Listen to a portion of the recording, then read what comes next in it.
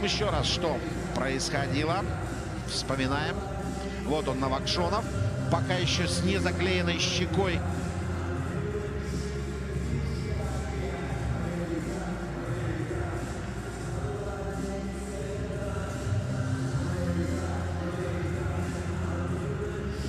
Очень все тревожно начиналось. Крамзин здесь просто кувыркался, как белка в колесе.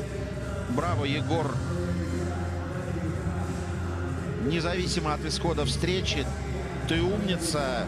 И твой вклад в то, что команда набрала хотя бы очко, огромнейший. Ну вот смотрим. В третьем периоде 8-8 было по броскам. То есть в, в общей сложности это тот перевес, который в итоге обозначился в протоколе,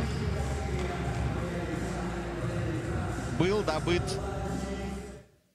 именно в стартовом отрезке. Значительный перевес по попаданиям в створ.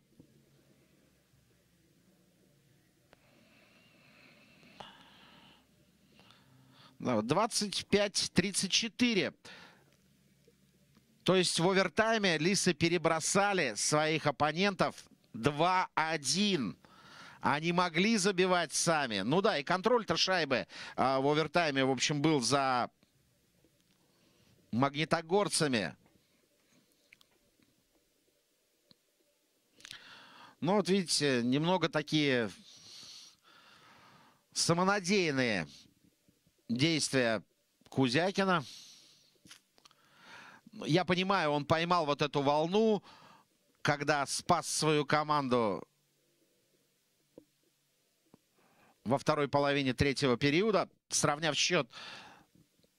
Но немножко все-таки так переоценил свои силы в ответственный момент. Общая статистика, да, 25-34 по броскам, по вбрасываниям 29-30. Ну да, было очень неприятно в первом периоде, потом выровнялись. И, кстати, в овертайме оба вбрасывания Лисы выиграли. По блокированным 17-12. Все-таки в итоге побольше пришлось. Да, вот она, первая ответная шайба Лисов. Ее автор Ярослав Мухранов. У него тоже сегодня волнообразно, как и у Кузякина. И заброшенная шайба есть, и два удаления у Мухранова. И одно из них было как раз использовано соперниками. Дважды играли в меньшинстве по ходу третьего отрезка. Лисы вот так они пропустили. Почти из ничего выросла эта контратака. Позиционно здесь не разобрались. Да, по силовым 15-10 так и переиграли ведь. Лисы. По отборам 2-4, по потерям 4-4, по перехватам 2-4. Ну и вдвое чаще Лисы удалялись. Всего два раза позволили себе нарушить правила. Ястребы очень корректно сыграли. Но вот, видите, свои обе шайбы забили в равных составах. Магнитогорцы. Вот он, спасительный гол. Плохов красавец. Осипович молодец. Кузякин герой.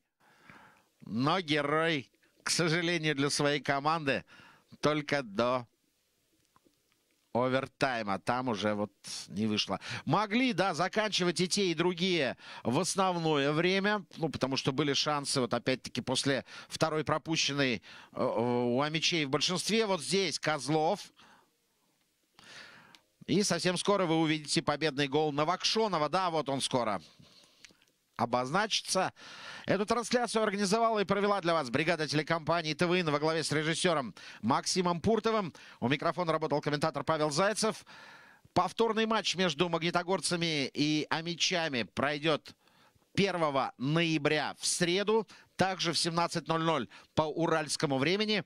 Ну а завтра, в последний день октября, Магнитогорский «Металлург» попробует прервать свою пятиматчевую серию поражений в домашней встрече с Барысом из Астаны. 19.00 начало. Не пропустите, поддержите свою команду. Пока.